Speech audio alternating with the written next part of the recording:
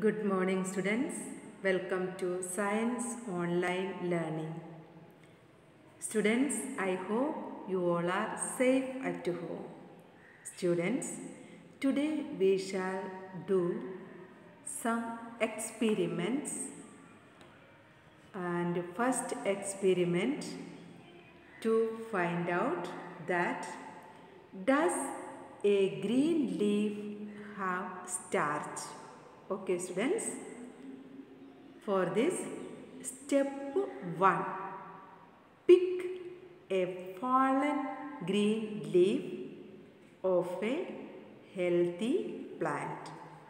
Then, students, bleach the leaf by first boiling it in water as shown on the screen and then boiling it in alcohol. Then students step 3 take out the leaf and wash it in cold water. Okay? Then students step 4 add a few drops of iodine on the leaf. After washing the leaf, take out and add a few drops of iodine on it as shown on the image. Shown on the screen. Okay, student? Then what do we find? Students, when we add iodine to the bleached leaf, it turns blue black, right? Students, this shows that starch is present in a green leaf. That's why the leaf turns blue black. Okay, students? Then experiment 2 to find out that whether sunlight is needed for photosynthesis. For this students, take a healthy potted plant and keep it in the dark for about 24 hours. Okay students, take a healthy potted plant and keep it in the dark for about 24 hours.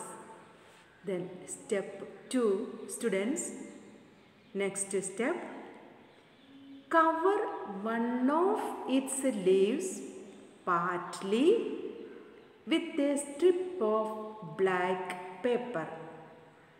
Then students, keep the plant out in the sunlight for 4 to 5 hours. Okay students, then next step, then students bleach the covered leaf by first boiling it in water as shown on the screen. Then boil it in alcohol also okay students. Then take out the leaf wash it in cold water.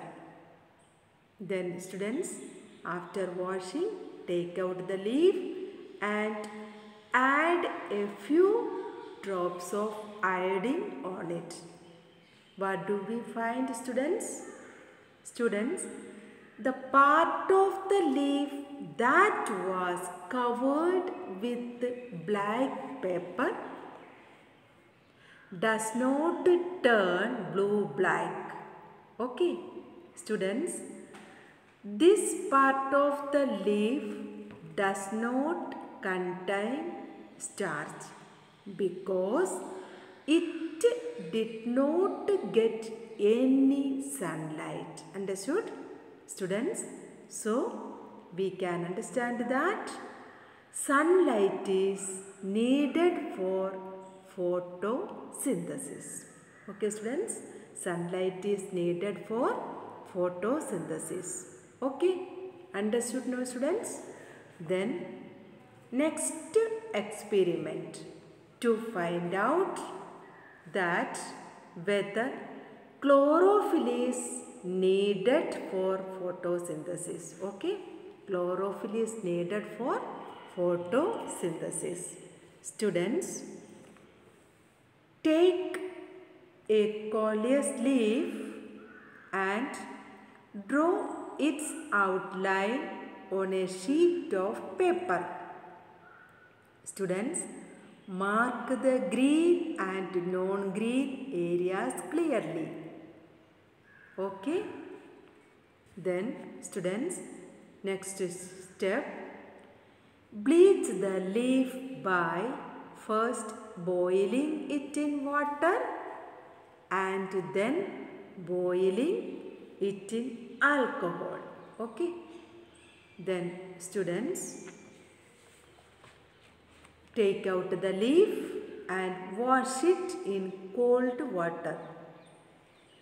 Then take out the leaf and add a few drops of iodine on it. Then students take out the leaf.